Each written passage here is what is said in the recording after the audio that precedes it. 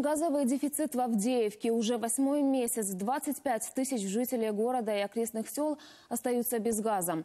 В июне прошлого года магистральный газопровод, который снабжал Авдеевку топливом из Донецка, повредили боевики.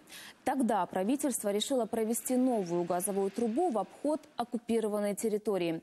Работы курировали местные власти, но после строительства газопровода Донецк облгаз отказался принимать объект в эксплуатацию. По словам его представителей, никаких документов на новый газопровод они не получили, поэтому принять в работу не могут. Мало того, труба даже не закрыта. В некоторых местах только присыпана землей, что нарушает требования техники безопасности.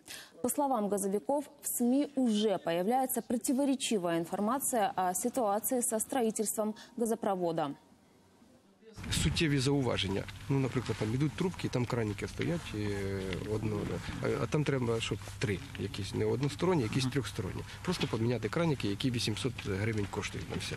Підрядник 8 краніків цих треба було поміняти. Підрядник їх зразу за 2 чи за 3 дні поміняв. На сегодня, по состоянию на 7 февраля, ПАО «Донецкоблгаз» нашим службам, заказчиком, а заказчик э, строительства является департамент розвитку, не представленный пакет документов, ни один документ не представленный на подпись, э, на проверку и так далее, и так далее.